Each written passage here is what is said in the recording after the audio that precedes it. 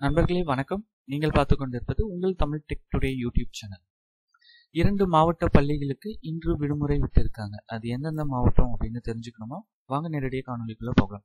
வங்கக்கடல்ல ஏற்பட்டிருக்க காற்றழுத்த தாழ்வு நிலை மேற்கு நோக்கி நகர்ந்திருக்கு. இதனால நவம்பர் பன்னிரெண்டு முதல் தமிழகத்தோட கடலோர மாவட்டங்கள் மற்றும் புதுவை காரைக்காலில் கனமழை பெய்யும். மற்ற இடங்கள்ல வந்து மிதமான மழை அப்படின்னு வானிலை ஆராய்ச்சி மையம் வந்து எச்சரிக்கை எச்சரிச்சிருக்காங்க. சென்னை அதோட சுற்று வட்டார பகுதிகளில் ரெண்டு நாட்களாக வந்து மழை இல்லை. ஆனால் வெள்ளிக்கிழமை வந்து மீண்டும் மழை பெய்ய தொடங்குச்சு. திருவள்ளூர் காஞ்சிபுரம் மாவட்டங்களில் வந்து மழை அந்த அளவுக்கு பெய்யல. சரி எந்த ரெண்டு மாவட்டங்களுக்கு வந்து விடுமுறை விட்டுருக்காங்க அப்படின்னு கேட்குறீங்களா நாகப்பட்டினம் மற்றும் திருவாரூர் மாவட்டங்களில் இன்று பள்ளிகளுக்கு விடுமுறை விட்டுருக்காங்க. அந்த மாவட்டங்களில் வந்து கனமழை இப்போ பெஞ்சிட்டு இருக்கு. சென்னைக்கு எப்போ மழை அப்படின்னு கேட்குறீங்களா வெயிட் பண்ணுங்க.